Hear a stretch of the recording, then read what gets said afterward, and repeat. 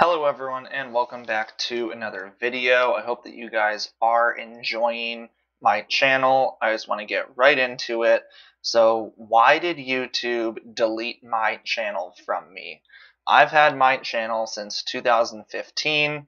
Only recently, within the last like let's say basically like four years, have I really been posting. I have not really been posting for nine years it was just you know part of a channel that was created along with my email that i had at the time.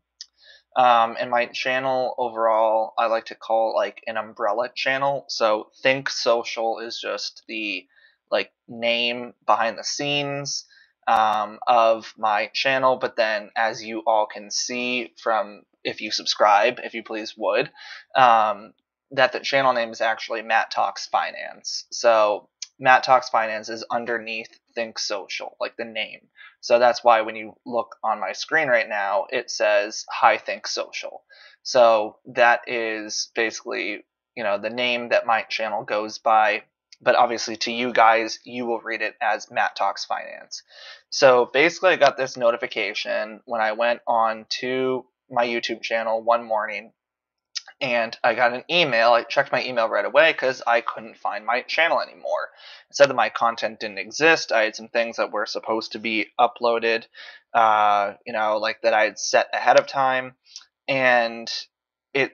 The reason that they gave was spam. They thought that I was spamming my channel. So what I've done recently is I actually went, you know, to a different YouTube channel to watch a few videos on how to make my channel better for you guys. And one of the things that they said was post a bunch of shorts. And so I know that YouTube loves like shorts. They loves the short form content, that 15 seconds, um, whether it's for a video that you already made or not, or you're creating one fresh. They love that. They eat it up. So what I did was I created a bunch of shorts and I set them all to debut um, every single day at 8 a.m. And I don't think YouTube liked that at all. And I also connected them to uh, prior videos that I had made too, a lot of them. So I don't think YouTube liked that. Um, they did allow me to appeal, and obviously I'm, you know, sharing this video with you through my channel. So, you know, spoiler alert, wait until the end of like a minute from now. but basically, I was able to get my channel back because I did appeal.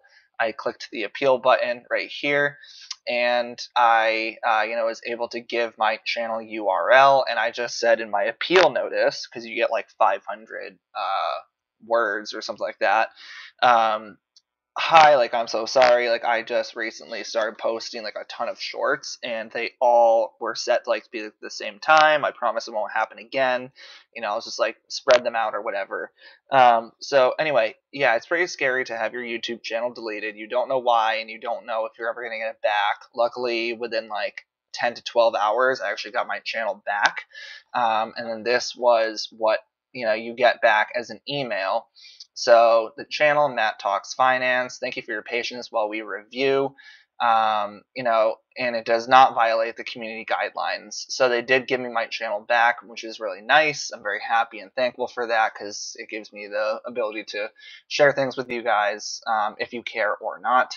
And yeah, I just think that uh, you know, try not to upload too many shorts all within like a no pun intended, short period of time. Um, I don't think the algorithm likes that. I don't think YouTube wants that. Um, I think that they want like consistent, but you know, maybe spread apart as far as timing goes, so that way not everyone is expecting to see your video right at 8 a.m. Um, but anyway, yeah, I just wanted to share that with you guys, and I hope you guys like this video.